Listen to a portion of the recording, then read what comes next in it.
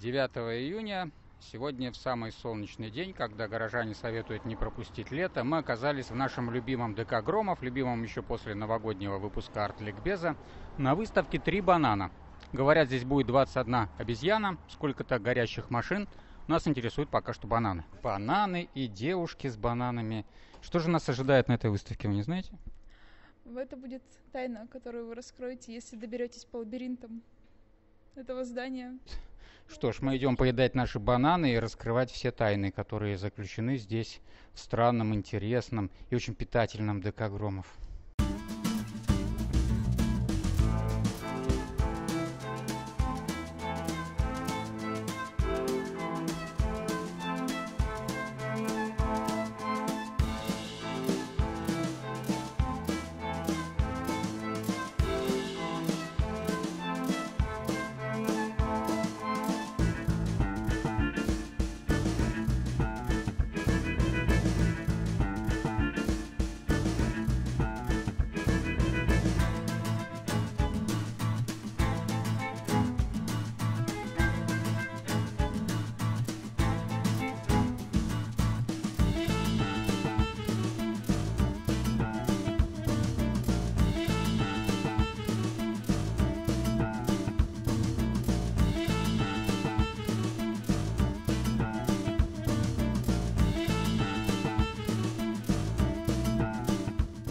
Что же происходит на этой выставке? Как нам снова отличить искусство от всего превходящего, как то бананов, португальского вина, диджея и разного прочего? На мой взгляд, на этой выставке происходит ирония, связанная с пониманием эволюции. Мы все знаем, что человек якобы произошел или не якобы от обезьяны.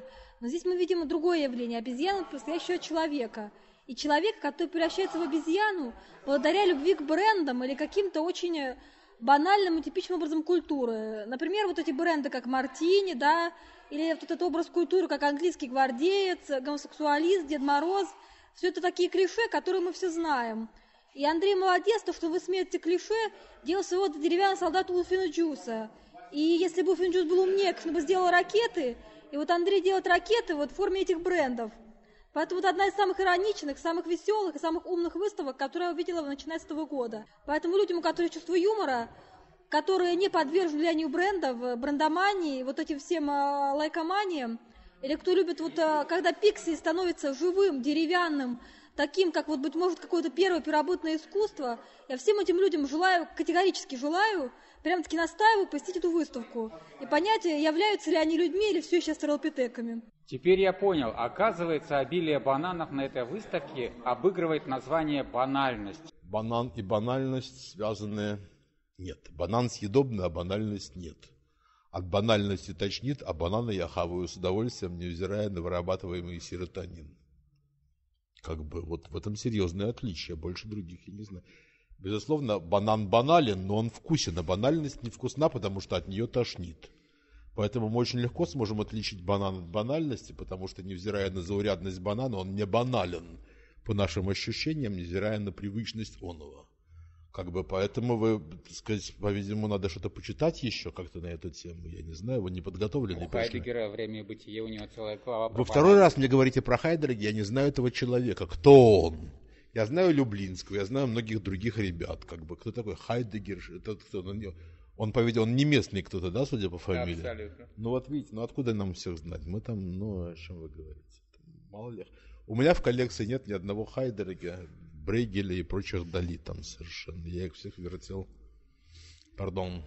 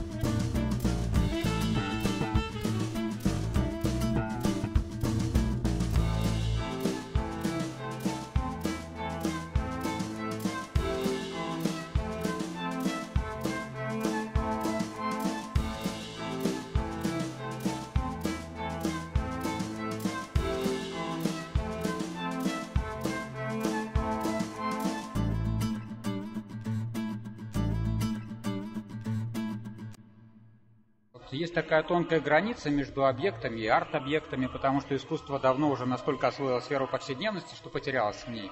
Есть граница между критикой и апологетикой. Ну вот, скажем, в Ирарте была выставка «Бренд-реализм», и трудно было понять, это критика общества потребления или это эксплуатация того, что в нем и так модно. Вот как вы думаете, сегодня тоже, когда мы видим объекты деревянные с этими брендами, это имеет критическое содержание или это тоже скорее просто ход такой для привлечения популярности? Э, не знаю, потому что не хочу поставить себя как бы в ложное э, положение искусствоведа, э, размышляющего в том числе о творчестве Андрея Люблинского и об этой конкретной выставке. Могу только сказать, что, ну скажем так, я абсолютно согласен с постановкой вопроса, который вы только что озвучили. Но, наверное, я не готов дать на него какой-то однозначный ответ. И, может быть, я допускаю, что этого однозначного ответа просто нет. Иногда наша действительность, э, арт-действительность, художественная действительность, а иногда наша бытовая действительность, наша просто как бы обычная ежедневная жизнь каждого из нас ставит нас э, э, на вот такую ленту Мебиуса, э, когда, к сожалению, мы не можем если хотим, скажем так, критиковать там, мир потребления, э, используя его методы, э, его исключительно критиковать и где-то случайно не пройти по этой ленте Мебиуса действительно на какую-то другую сторону, где станем его апологетами. Но это действительно какая-то такая вот э, запутка, Наверное, можно порассуждать о том, что из нее есть распутка. Э, это просто перескочить вообще на другую сторону, ну просто не говорить об этом. То есть, условно говоря, э, можно смотреть разные каналы, можно обсуждать о разных кан... Э, политику разных каналов, можно взять телевизор и выбросить его в окно. И, безусловно, с какой-то точки зрения, возможно, что это единственный радикальный ход – это просто выбросить в окно, перестать об этом думать и вообще не иметь с этим ничего общего. Я понимаю, что, во-первых, это ход э, для немногих, а во-вторых, э, и в нем я не уверен. То есть в этом, когда, то есть если бы от мира потребления и вообще от тех, скажем так, пороков и грехов мира, о которых мы любим рассуждать, на самом деле можно было бы легко избавиться. Ну, надо немножко ума, немножко хорошего вкуса, немножко таланта, ну, и все, и будет окей. То тогда, наверное, не о чем было бы говорить. В том-то и проблема, что действительно это тот мир, тот воздух, та среда, в которой мы живем, о которой мы рассуждаем, которой мы сопротивляемся, и от которой иногда нам очень трудно избавиться, потому что мы очень часто плоть от плоти этого мира со всеми его недостатками. Но дело в том, что проект с машинами, он действительно э, старой десятилетней давности и посвящен, как вы правильно сказали, э, тем событиям в Париже, когда в арабских кварталах за ночь сожгли более там, тысяч автомобилей. Вот, и э, мне это было интересно, и меня это взволновало как перформанс, а не как протестная акция какая-то. То есть это было страшно, и Э, в этом проекте про машины речь идет о зыбкости вообще всего. То есть, э, что сегодня там у тебя все есть, а завтра у тебя ничего нет. Ну, грубо говоря. Вот. А обезьяны это достаточно новый проект, э, ему, наверное, два года, не больше. Вот. И мне показалось, что при совмещении э, все вместе э, приобретает некую остроту. Вот. И, возможно, для меня по формальному признаку два этих проекта пересеклись. Вот. А зрители видят э, и обращают внимание уже на какие-то бренды, какие-то автомобили, каких-то обезьян и все остальное. Для меня это формально по материалу, по цвету, по каким-то логотипам, по каким-то таким вещам. Ни больше, ни меньше. В финале очень подозрительного по нумерологии 66-го арт-ликбеза мы оказались в подвале ДК Громов, уйдя от компьютерных технологий. Может быть, деревянные игрушки нам как раз навеяли это место, полное деревянными изделиями и картонными коробками. Что это такое все, что значит? Ну, прежде всего, этот подвал означает, что мы находимся на мансарде. Угу. Потому что на самом деле то, что вы называете подвалом, называет, называется мансардой. Но вы, как человек, склонный к альтернативному мышлению, к традиционному подходу, уставший от банальности – То есть вы даже в отличие от меня, я вот сижу на стуле, а вы нашли пластиковое ведро. Да, Может быть, ведро. не все это видят, как бы, да? Может быть, ради этого мы и пришли сюда, чтобы посидеть на пластиковом ведре. Может быть, это как-то неординарно. Вы когда последний раз сидели на пластиковом ведре?